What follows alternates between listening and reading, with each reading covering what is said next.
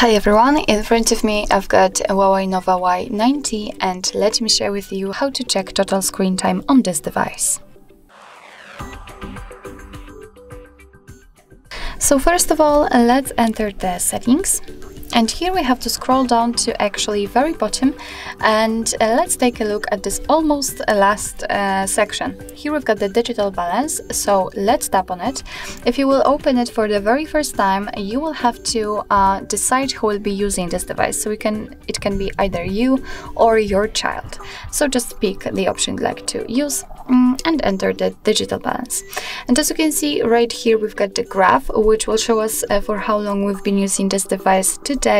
So as you can see, I've been using it for 53 minutes. Here you've got also listed apps, um, I mean particular apps on which you've spent particular time. So for example, the settings, 24 minutes, and the contacts, 5 minutes. Mm, if you want to check some further details, just tap on it. It doesn't really matter where, just in this section, you will be transferred to this dashboard, which will show you uh, in which hours you've been using this device mostly.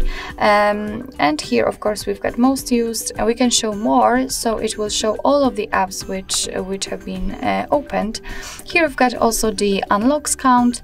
We've got the extensions, so the total extension time and number of extensions. And this is the graph for one day, so for today. If you want, you can tap on last seven days and you can check how it uh, looked like whole week. You've got also most used, unlocks, and so on, so the same section. After getting back, you can see that you've got some management options, so you can set the daily screen time, uh, some app limits, or away time so it's of course up to you. So for example after tapping on away time you can tap on add. You can pick particular hours. You can um, pick where when you want to repeat uh, this mode. And actually it may be quite useful um, because if you need for example the time for yourself you need to work or you just want to rest from your device you can set the away time and and your device will help it uh, will help you actually you've got also the digital balance pin so you can set the pin and you can disable the digital balance. So actually this is it, this is how to check total screen time in your Huawei Nova Y90. Thank you so much for watching, I hope that this video was helpful and if it was, please hit the subscribe button and leave the thumbs up.